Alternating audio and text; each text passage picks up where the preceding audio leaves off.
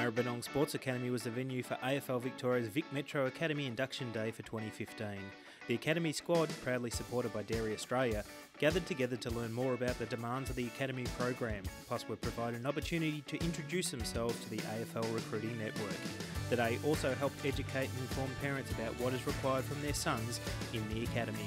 AFL Vic TV spoke with Anton Grbac more about the day. Metro Induction Day is basically just feel like the official start to our uh, under 18 academy program. What we try and do is identify a nucleus number of players that I believe uh, have the capacities and the potential to play nationals this year, and obviously with draftable qualities. And we try and get a head start in terms of getting them uh, prepared for a whole, in a whole lot of spaces. Yeah, every year we try and get an AFL representative uh, to come along to the players, not only to the players but also to the parents explain to them what AFL clubs are looking for. And generally, the, the message is the same. So it's a universal message that I think the players need to hear. I know some of the players have heard it before. Parents, many of the parents haven't heard that sort of side of it before. It's part of that policy of trying to keep the parents informed as to what sort of things and what sort of requirements clubs are after. It always goes down well. It's a popular part of the session. The parents spoke to me after the session and really enjoyed that part of it because it really opened up their eyes to what clubs want. I'll just really run through, I guess, the main attributes that we look for when we go out and watch the boys, which uh, is a range of things these days, uh, starting obviously with footy ability and then physical attributes and most importantly character as well. Yeah, we're very, very excited to uh, have appointed Steve Wallace, the ex-Western Bulldogs great, uh, who also is the father of Mitch Wallace, who was the captain of the Metro program not too long ago. Uh, Steve Wallace is going to take over from Brian Royal as our senior uh, assistant to assist Floody and will also look after the midfield.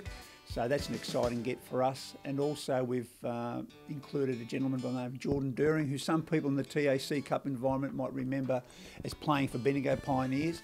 Was actually a country representative uh, in the period of time he was there, but also had stints at Essendon and Carlton. So we're pretty excited. He's a young, Jordan in his case, is a young coach who's willing to learn and bringing that enthusiasm into the group would be terrific. And of course, an old head like Steve Wallace is going to be fantastic for Ugo. We like our program to stay as contemporary as possible. I mean, players relate to the modern day player and what, what experiences they've had. And players that we've introduced this year, Carl Peterson from Hawthorn, as well as Jesse Smith from North Melbourne, are players that haven't actually had it or go all their way in terms of their careers. They've had a taste of AFL football, they've had setbacks, they understand the rigours and the demands of the business, but they've also got a story to tell which our players can learn from. Uh, all squads are different. The makeup of squads change depending on the draftable personnel that's available year in, year out, and we undeniably we had a very good uh, group of 18-year-olds last year that deserved an opportunity 36 18 year old players that qualified for the draft last year, 30 of them went to AFL clubs. So you can see the opportunities for 17 year olds weren't there, but the nature of the business is you try and give an 18 year old the first opportunity to play nationals because it's a very important stage in terms of competing for the national draft and the players that are out there.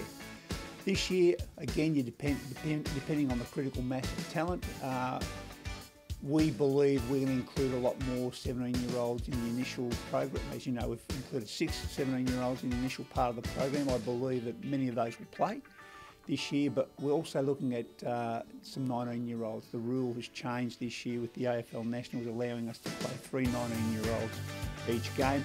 And I think we've got a group of 19 year olds this year in the TAC Cup that deserve that opportunity and will be, I guess, of interest to AFL clubs obviously with me and James having the experience last year, we've sort of got a bit of a head start on the other boys who have come into the um, to the system this year and into the group.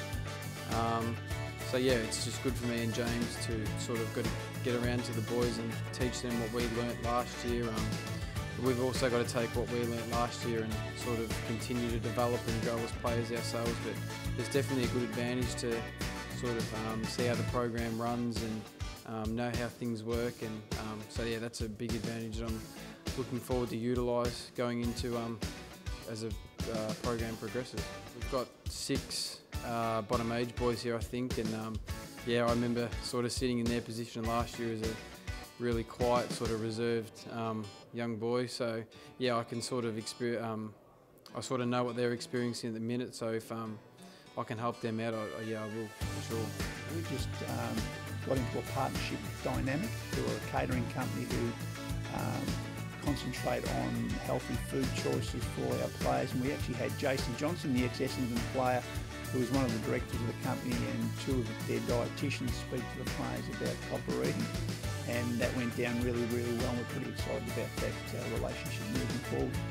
And Winners Bars are also on board. They've been a fantastic supporter of ours and very generous partner. So we're pretty excited about the sort of partnerships we've created with two very uh, prominent and relevant uh, partners.